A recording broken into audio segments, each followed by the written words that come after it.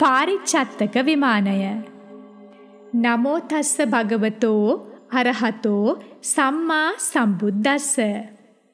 ඒ භාග්‍යවත් අරහත් සම්මා සම්බුදුරජාණන් වහන්සේට নমස්කාර වේවා. පින්වත් දෙව්දුව මේ පරසතුරුක හරි මනස්කාන්තයි. සුරම්යයි. ඒ කොබෝ ලීල මලින් ඔබ දිව්‍ය මල්මාලා ගොතමින් ගී ගයමින් සතුටු වෙනව නේද? ඔබ නටද්දී ඔබේ මේ සියලු අඟපසඟින් ඊතා කන්කලු වූ මනරම් වූ දිව්‍ය නාදයන් නිකුත් වෙනවා. ඔබ නටද්දී ඔබේ මේ සියලු අඟපසඟින් ඊතා මනරම් වූ දිව්‍ය සුගන්ධයන් නිකුත් වෙනවා. නටන ඔබේ සිරුර ලෙලදෙන විට ඔය කේශ කලාපයෙහි ඇති සුන්දර පළඳනාවලිනුත් මිහිරිනාදය ඇහෙන්නේ පංචාංගික තූර්යනාදයක් වගේ. ඔබේ හිසේ මුදුන් මල් කලබක් තියෙනවා. මද සුළඟින් ඒ මුදුන් මල් කලබ සැලෙද්දී එයිනුත් මිහිරිනාදය ඇහෙන්නේ පංචාංගික තූර්යනාදයක් වගේ. ඔබේ හිසෙහි පැළඳගෙන ඉන්න මල්දම හරිම ලස්සනයි. හරිම සුවඳයි. ඒ සුවඳ පැතිරිලා යන්නේ පිපී සුවඳ හමන මංජුස්සක වෘක්ෂයක් වගේ.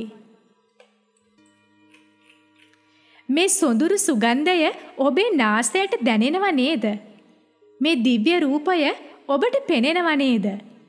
පින්වත් දෙව්දුව අපි අහන්නේ මේකයි. ඔබට මේ වගේ සම්පත් ලැබුණේ මොන වගේ කර්මයක විපාකයක් හැටියටද?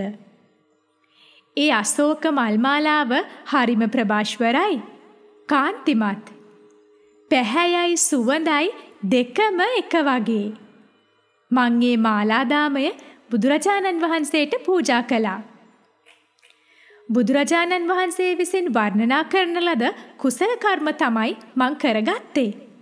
ඒ නිසාමයි ශෝකයක් නැති, ලෙඩ දුක් නැති මේ දිව්‍ය සැප ලබාගෙන මං සතුටු වෙන්නේ.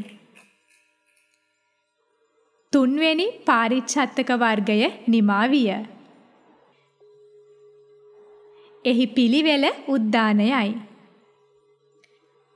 උලාර විමාන වස්තුව ඒ වගේම උච්චුදායිකා පල්ලංකදායිකා ගුත්තිල වගේම ලතා දද්දල්ලමානා සේසවතී මල්ලිකා විශාලක්කී පාරිච්ඡත්තක විමාන යන මෙයින් මේ වර්ගය කියනු ලැබේ.